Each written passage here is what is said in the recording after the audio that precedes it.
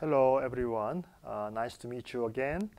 Uh, before I start my lecture, let me uh, give you some uh, Bible passages for today's devotion.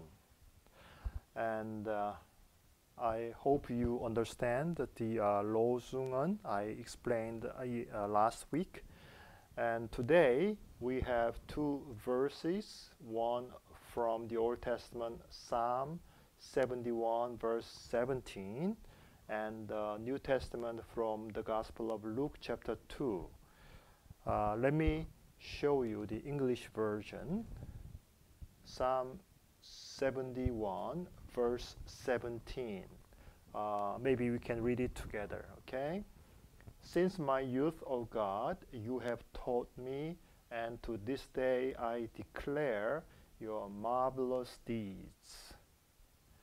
Or, yeah, the context uh, might be uh, not exactly the same as the New Testament, but when we think of what God has done for us, His marvelous deeds are focused on the redemptive work of Jesus Christ.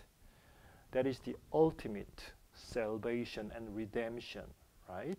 And the, the writer of this psalm mm, confesses that God has taught him, and so to this day he uh, declares God's marvelous, redemptive salvation.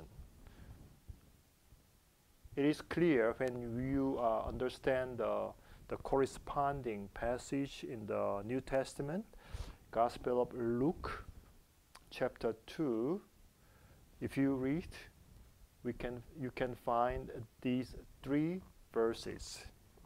Okay, let us read together.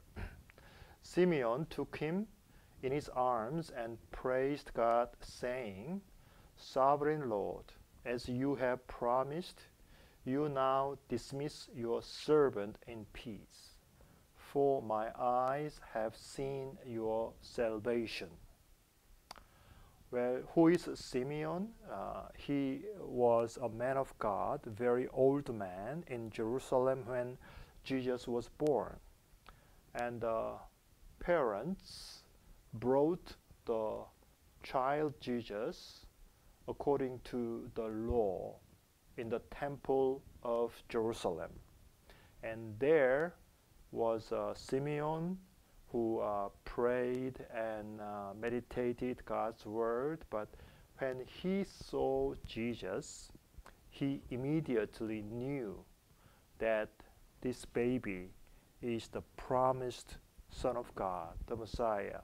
So he took him in his arms and praised God, saying, Sovereign Lord, now you dismiss your servant in peace because he was a very old man. Uh, he is going to die soon. But he has been waiting for the promised Messiah. And now he is so glad. His heart is so in peace because he has seen the promise of God is now fulfilled. And so he said, My eyes have seen your salvation. So he knew uh, that uh, this baby Jesus will be uh, the Son of God and be crucified on the cross, and he'll, he will be resurrected afterwards.